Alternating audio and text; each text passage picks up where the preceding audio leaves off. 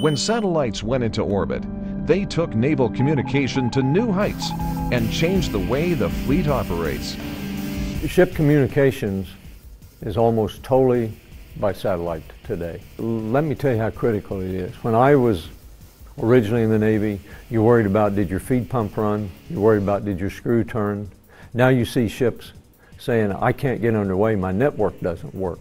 So that's how dependent we've become on networks and communicating and collaborating between ships. With the growing requirements for ship-to-ship communications, it doesn't take long for satellite traffic to become congested. The solution is the Floating Area Network, or FAN. The FAN is a mobile wireless mesh network that allows multiple Navy vessels at sea to route network traffic between one another line of sight. Although FAN employs industry commercial off-the-shelf equipment, it is more advanced than the wireless network seen in an office building or military bases. FAN goes beyond the standard wireless topology and provides viable links between ships in an ever-changing maritime environment. Using highly specialized routing software, FAN quickly evaluates numerous environmental factors such as RF strength, electronic noise, relation motion, pitch, and roll in making routing decisions, thus optimizing performance and ensuring that the best data path is always chosen.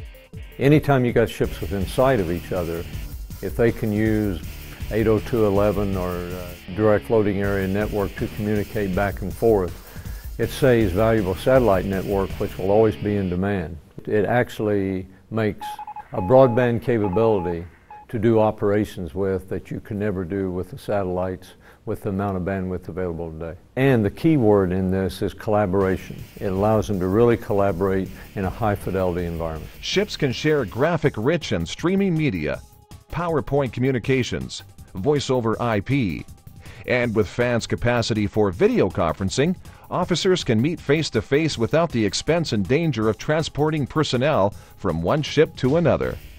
Not only can ships communicate with one another, they can hop from ship to ship to ship to shore. There's no central network. Ships can join or leave the network as they come within range of the group. FAN also opens up communication with Allied forces that are now bandwidth limited, making the dream of the 1,000 ship Navy feasible. Smaller ships relying on very expensive commercial SATCOM can also use FAN to piggyback on satellite communications of larger ships. More efficient use of bandwidth means a better quality of life for everyone on board. FAN will route traffic in the smartest, most efficient manner. Existing Navy systems will be integrated into a seamless network. FAN delivers excellent performance and will be a cost-effective solution. The floating area network is going to allow naval forces to have a much larger bandwidth than they've ever been able to have before. The fleet has called for more bandwidth. The floating area network will meet that call.